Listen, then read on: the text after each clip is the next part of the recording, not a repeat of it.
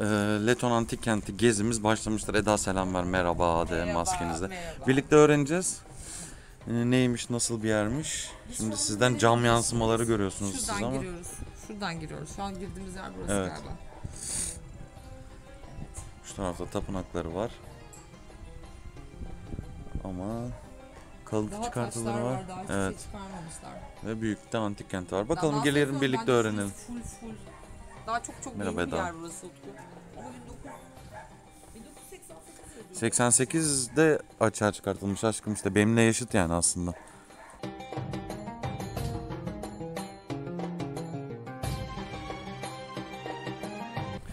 Şimdi buraya gelirken e, Eda okumuştu. E, Leton Zeus'un hamile bıraktığı kadın adına kurulmuş bir şehir şeyde mitolojide. Ama yani karısı değil değil mi? değil. Hayır. Karısı değil her herhalde çünkü Cezvesi. bilim gene. Aynı zevcesinin. Ama zevce de denmez ki yani Vezcesi, cezvesi. karısı o dönemde şey olmuyor işte hamile bıraktı. Çünkü onun çocukları demigod yani yarı tanrı oldukları için önemli insanlar haline geliyor yani. Şeyde şehir onun adına yapılmış. Şehir normalde e, bu Lidya döneminde aslında değil mi Evet. aşkım? Lidya döneminde başkentlik de yapmış sanırım senin okuduğun evet, kadarıyla. Lidya döneminde başkentlik yap- yapmış burası.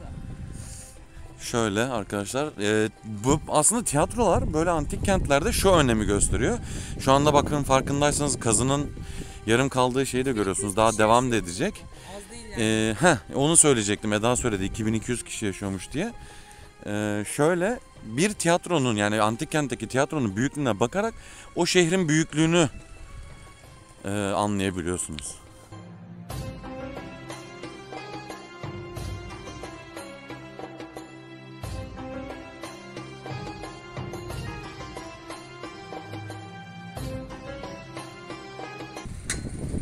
Likya tiyatroları içerisinde. Evet. Çok iyi korunmuş örneklerinden biridir. Sahne binası henüz tam anlamıyla ortaya çıkarılmamıştır. Yapı Helenistik döneminin yaklaşık milattan önce 3. yüzyıl yazıyordu, 2. yüzyıldaymış. İnşa edilmiştir. Tiyatro, tiyatro kapasitesi 7800. 7800 Ama kişi. 2200 diyorduk kişi. Hayır hayır şöyle bebeğimle e, şehrin bak bu tiyatro Helenistik dönemde yapılmış. Şehrin ilk kurulduğu gün yapılmamış yani. Anladın mı? Tiyatronun kapasitesi 7000 kişilik. Yani gerçek o ne hani diyorlar ya iyi korunmuş durumda diye. İyi korunma durumu da şeye bağlı oluyor. Toprağın altında ne kadar kalıyorsa o kadar iyi korunuyor. Gerçi buraya vakti zamanda bir bok yiyip beton atmışız biz gene ama şöyle net bir şekilde görebilirsiniz işte halkın giriş yaptığı kapılar. Normalde burada bir, bir de sahnesi olması lazım. Normalde burası girişi değildir. Şeyin, antik tiyatroların. Halk normalde şu tarz böyle bu e, kemerli kapılardan giriyorlar evet.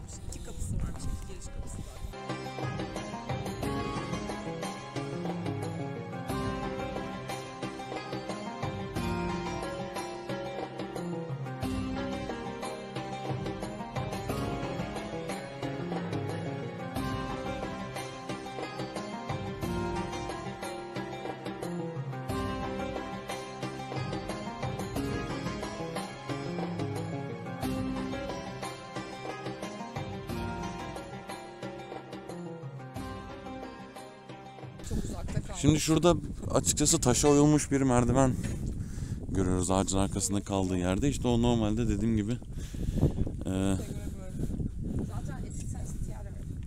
e, teras ve teras duvarları diye geçiyor. Büyük ihtimal teras dediği yerde de e, konutlar vardı. Konutlar tabi ahşaptan ve daha çok kerpiçten yapıldığı için günümüze kadar gelmemiştir. Ancak şöyle birazdan sabit duracağım. Tiyatro girişinin ne kadar özenli yapıldığını buradan görebilirsiniz. Aslında bu tarz şeyleri Efes'te bile göremiyorsunuz. Bu da aslında o dönemde şehrin yok bebeğim tamamlanma değil o kumdan çıkartılmış. Temizliği oradan geliyor yani biraz daha temizlenmiş. Ama o e, ne derler süsleme yapısının şehrin önemini gösteriyor işte. Yani Leton Zeus için çok önemli birisiymiş. Tabii zaten yani bunlar e, Zeus'a inanıldığı dönemlerde değil biraz daha tanrılaştırılıp tanrısallaştırılıp diyeyim. Ondan korkulduğu ve onlara tapıldığı dönemlerde e, bu tarz e, anıt yapılar daha çok yapılıyor. Portikolar. Portikolar alanının neymiş bebeğim bunlar? Stoa. Tapınak alanı. Dedim ya tapınak olarak bir, üç tane tapınak varmış burada. Portikolar tapınak alanını kuzey ve doğuda portikolar bla bla bla yani stoler, stullu koridorlar, çevreler. Portikolar iki bölümde oluşur. Yani bu ara, ara bölmeleri diye Milattan önce 2. yüzyılda Roma döneminin İmparatoru Claudius'un egemenlik döneminde inşa edilmiş. Toplanma alanı ve tapınak olarak daha çok kullanılmış. Şöyle biraz daha yüksekten size göstermeye çalışayım. Henüz daha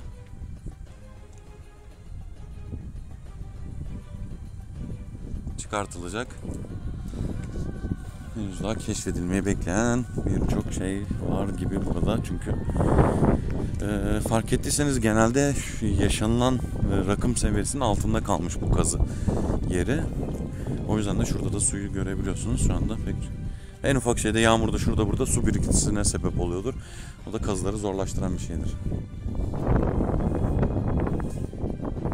Ve evet beklediğimiz tapınak arkadaşlar Apollon Burası tapınağı. da. Leto Artemis tapınağı, Artemis tapınağı. O Üç zaman tane evet. Dedim ya üç tapınak varmış burada. üçü de yan yana görünüyor şu anda. tapınaklarının, eee, kalbini kutsal kaynak ile Leto, Artemis ve Apollon için inşa edilmiştir. Tapınak, eee tapınakları, tapınaklarının yer aldığı Temenos, Temenos oluşturur. Ha, üst üste mi yapmışlar? Birisi yapmış sonra gelip birisi daha mı yapmış üst üste anlamadım. Daha çok yan yana gibi duruyor bebeğim.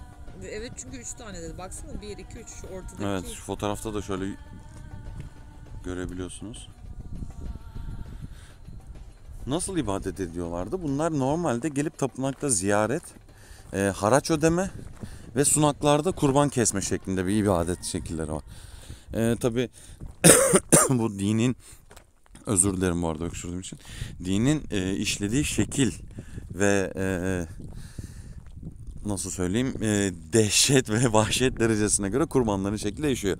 Kimisi e, atıyorum o dönemde e, ne derler tahıllarını ya da işte e, ektiğini biçtiğini e, siz söyleyin e, kurban edermiş. Kimisi hayvanını kurban edermiş. Kimisi de canını.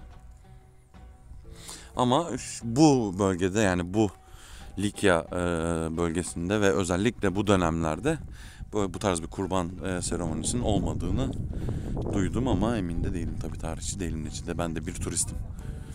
Evet şu anda e, Apollo tapınağı mı? Bakalım tabelalar neyi gösteriyor? Şurada bir Leto tapınağı diyor. Evet. Orta, sağ ve sol olarak. Leto'nun da kim olduğunu söylemiştik arkadaşlar. Leto e, Zeus'un eşlerinden diyelim artık çünkü kırığı falan demeyelim de biraz ayıp oluyor. Leto e, Zeus'un çocuklarından birine annelik yapan birisi ve adına da böyle bir tapınak inşa etmişler.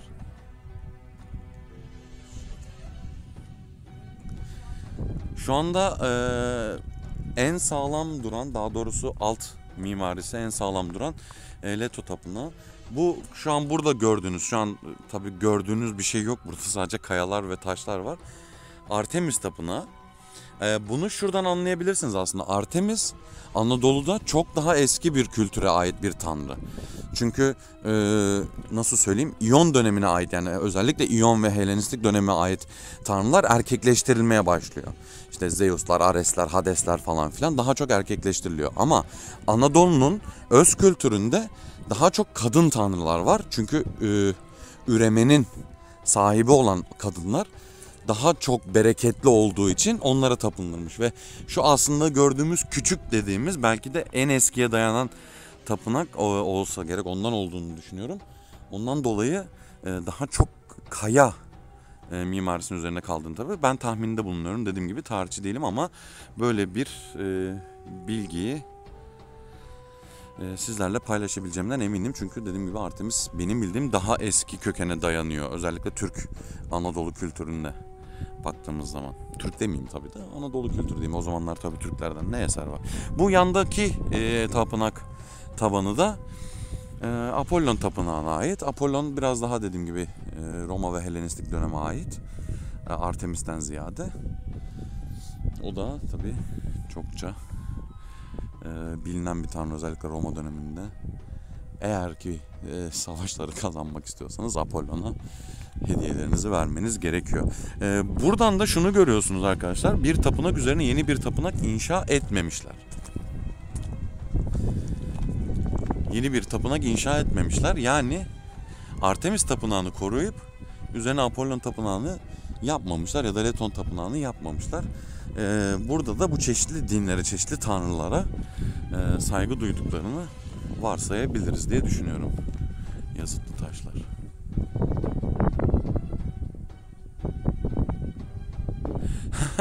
Geho büyük ihtimalle yani Zeus'un bir şeyidir mutlaka diye ama e, nasıl söyleyeyim e, gelmeden önce yaptığımız araştırmadaki bilgi neyse onu dağıtıyoruz diyeyim. Hadrian Çeşmesi, Hadrian Çeşmesi, Hadrian Çeşmesi kutsal kaynak neresiymiş burası? Bu arka tarafı mı? Arka tarafı da e, şey depremlerde yıkılmış Leton Tapınağı'nın güneybatı köşesinde Leton kutsal alında a- alanına adını veren e, kaynak fışkırmaktadır. Yani bu su var ya arkadaşlar. Ha şurası o zaman. Evet su. Dikkat et. Yo dikkatliyim bebeğim. Bu Hadrian e, arkadaşlar belki hatırlayanınız vardır. Antalya'da aslında Antalya yöresinde daha çok tabi aynı yöreye ait e, şeyde Kaya İmparatorluk da Antalya'da çok da büyük Hadrian kapısı vardır. Oradan belki aklınıza gelir. Tarihle ilgilenenler e, nasıl söyleyeyim? Hani direkt e, kulağına aşinalık yapmıştır. Ha ben bu ismi duydum şeklinde. E, Kral Hadrian e, bu e, dönemde özellikle bu Helenistik dönemde buradaki imparatorluğun en parlak dönemine e, krallık yapmış bir isimdir. Onu da barışla sağlamıştır. Daha önceki videolarımızda belki e, bizi duyan, ilgilenen falan varsa izleyebilirsiniz ya da görmüştür zaten. Termesos antik kenti de Kral Hadrian döneminde en parlak dönemini yaşamıştır. Ki zaten aslında tapınaktan ziyade bu tarz çeşme ve bu tarz e, nasıl söyleyeyim süsleme yapıları daha çok parlak dönemlerde yapılır. O da barışa atfedilir ama barış dediğimizde de şey yapmayın arkadaşlar. Bu kralların ömürleri bir insan ömrü olduğu için savaşsız geçirdikleri 10 yıla barış dönemi diyorlar.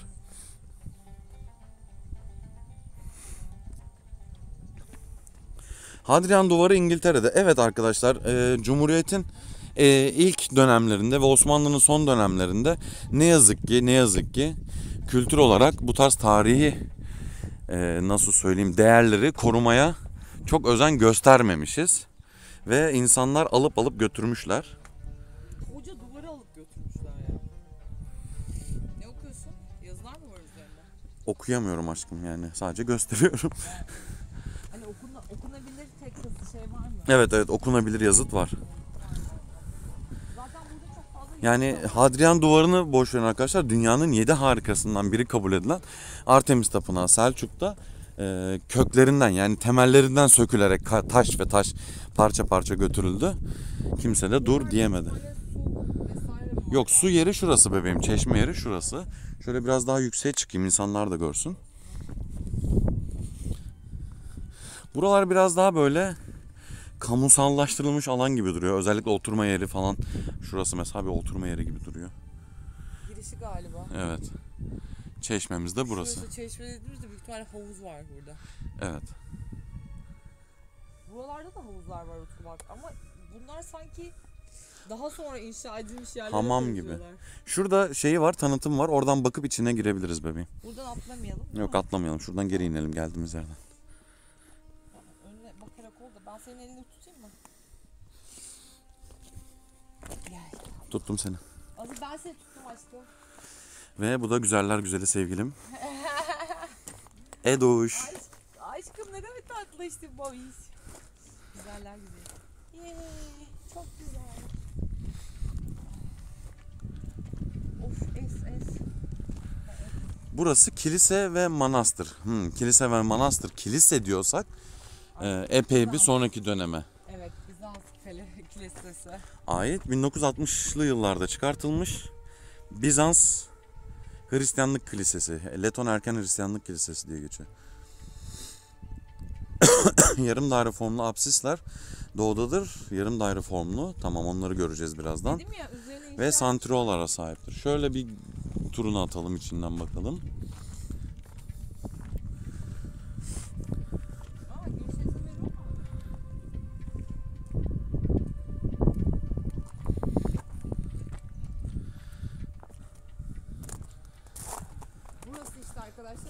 Bu yarım daire form dediği kısım bu. Burası zaten normalde herhangi bir kilise formunu da zaten hani az çok aşina olanlar bilirler. Büyük ihtimal şurada da şöyle bir duvar yükseliyordu ve haç vardı içerisinde. Bu sütun işte atıyorum şeyin destekçilerinden ve Bizans dönemine ait yazıtlar olsa gerek. Çünkü bahsettiğimiz o Zeus'lu dönemlerde Hristiyanlıktan söz etmek mümkün değildi. Ee, farkındaysanız e, arkadaşlar din uğruna yapılan binalar, din adına yapılan binalar ayakta kalmış ve e, diğer hiçbir yapıdan e, eser yok. E, bu da aslında tarihten günümüze kadar ki hani dinin gücünün ne olduğunu gösteriyor bize. Leton Tapınağı'nı uzaktan görebilirsiniz. Ortada Artemis Tapınağı ve Apollon Tapınağı ve şu anda da Bizans Kilisesi'nin içerisindeyiz. Çeşmeye doğru gidiyoruz. Çeşme diyoruz gerçi ama hani fountain değil mi? Asıl şey fountain hani fountain tekrar böyle biraz daha yüksekten görme imkanımız var. Şu anda Hadrian'ın çeşmesine bakıyorsunuz arkadaşlar.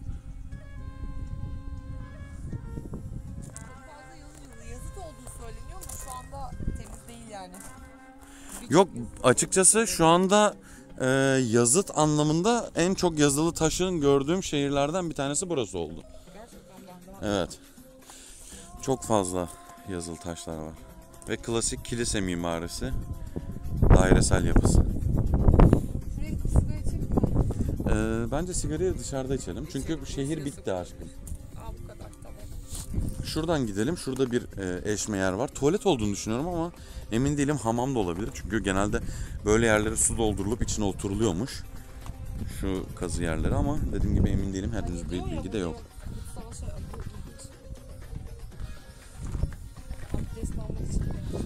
Ee, abdest aşkım.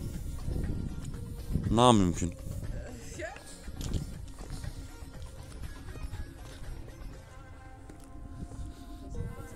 Umarım telefonu fazla sarsmamışımdır ve temiz bir gösterim olmuştur sizler için. Merak ettiğiniz sorular varsa arkadaşlar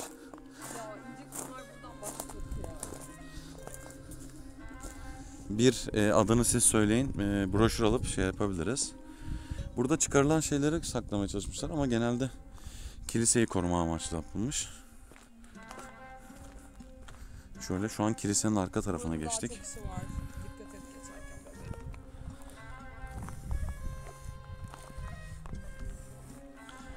60 liralık bir şey yok. Bu arada kertenkeleye selam verin. Ha kertenkele gitti. Arkadaşlar 60 lira değil burası. Burası buranın fiyatı 15 TL arkadaşlar. 60 TL'ye müze kart alıyorsunuz. Türkiye'deki bütün müzelere bir yıl boyunca giriş hakkı kazanıyorsunuz. O yüzden bol bol gezin arkadaşlar.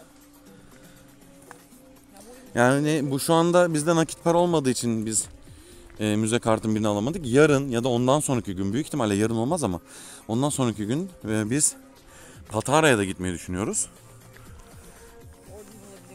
Evet oradan alırız. Bak farkında mısın aşkım yazılı taşların?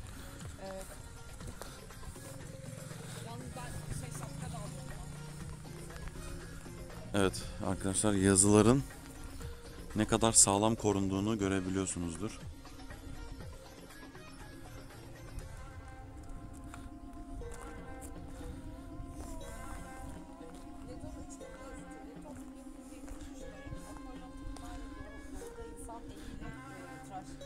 Tıraşlanmış ana kaya arasında tören yolu güzergahında bulunan ve Hitler Müzesi'nde sergilenmekte olan Likçe, Ar- Ara, Aramice ve eski Grekçe olmak üzere üç dilde yazılmıştır. Ha bunlar ama şeyde şu an müzede. Evet. Şu an burada değil bunlar. O zaman şu e, Apollon Tapınağı'nın yanındaki evet. şeye yürü- yürüyelim bebeğim. Su yolu değil bebeğim o. Bunlar birbirlerine geçmesi için kullanılıyormuş. Evet. Gel bebeğim buradan.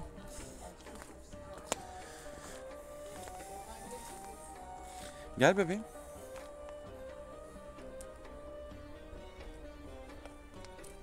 Aa çok güzel. Ayaklara gel. Bunlar bir de Helenistik yapıdan. Bir de farkındaysanız şöyle ben bir uzak göstereyim arkadaşlar. Genelde bu tarz yapılar e, nasıl söyleyeyim böyle merdivenvari basamaklı yapılıyor ve halkın gelip oturup işte nasıl söyleyeyim eee, felsefe yapması için, konuşması için, onları dünya işte eee, mevzularını tartışması için yapılıyor ve bu yazıtlar da bir, eee, nasıl söyleyeyim o döneme ait yaşanmışlıkları ve tarihi anlatan şeyler oluyor genelde. Şu yazıtlar şey yazıtları Utku. Ee, ne ismidir? Bizans mı? Ya Bizans.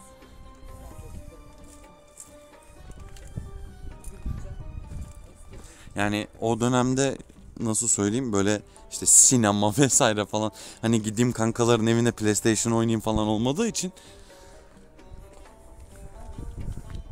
Ve şu anda bu yerin nasıl oyularak yapıldığını da görüyoruz. Asıl bu etkileyici. Yani o dönemde kanka nasıl yazdınız yani bunları? Nasıl kese kese çıkardınız? Gerçekten büyüleyici yani. Evet şu anda Apollon Tapınağı'nın yanından geçtik. Apollon Tapınağı'nda kalıntıları bu şekilde.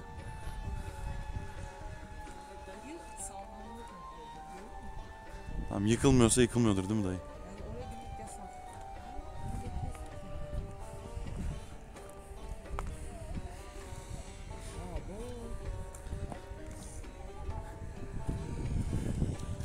Ve genelde kazı çalışmalarında böyle taşların sıralandığını, düz bir şekilde dizildiğini bütün tarihi kentlerde, bütün antik kentlerde görebilirsiniz.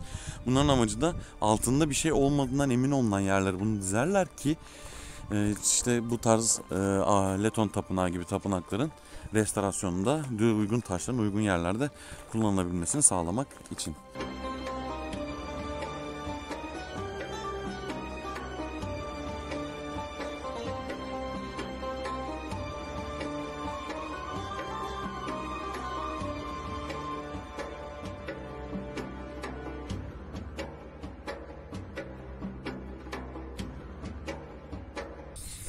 Evet arkadaşlar burada da şu anda teras yolu olduğunu düşünüyorum buranın. Çünkü direkt olarak bu yol e, şuradan gördüğünüz üzere tiyatroya kadar gidiyor. E, henüz kazıları yapılıyor.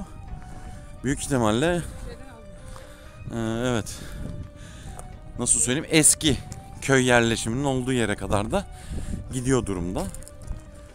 Biraz daha ilerleyelim. Bir şey yok çıkarsa anlatırız.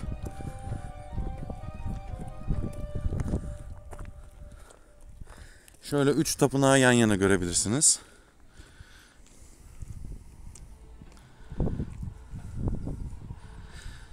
Soldan sağa doğru arkadaşlar Apollon Tapınağı, Artemis Tapınağı ve Leto Tapınağı.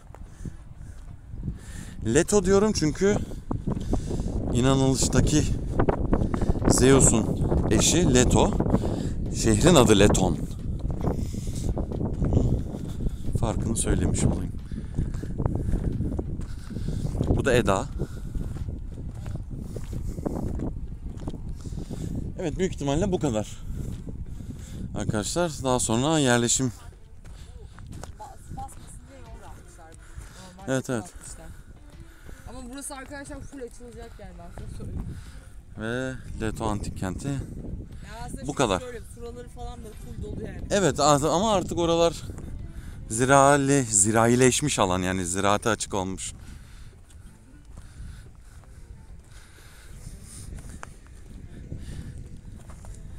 Benim izlenimim şöyle gerçekten e, güzel büyüleyici bir antik kent. Nedenini sorarsanız e, genelde her antik kent gezmesinde yaptığımız gibi bizi bir na- nasıl söyleyeyim antik tiyatro karşıladı. Ve gerçekten büyük bir antik tiyatro. E, normalde şimdi çok fazla yer gezemedik zaman olarak belki sizlere bir fazla bir şey gösteremedik ama antik tiyatronun büyüklüğünden dediğim gibi şehrin büyüklüğünü anlayabilirsiniz. Aslında burada e, çok da fazla yer var ama henüz çıkarılmayı bekliyor. Şurada zaten sütunlu yolu görüyorsanız şöyle bir durdurayım kamerayı. E, bir sabit tutayım birazdan bekleyiniz. Şurada bir e, sütunlu şey görüyorsunuz sazlıkların altında. Büyük ihtimal agorası da var buranın ama henüz agorası çıkartılmış durumda değil. E, burası e, agorası olabilir ya da e, şimdi nasıl söyleyeyim stoalar olarak geçiyor ama e, ne olarak kullanıldığı henüz keşfedilmemiş durumda. Üç tane tapınak var. Defalarca tekrar ettim. 3 tapınak bir şehirde normal değil arkadaşlar. Genelde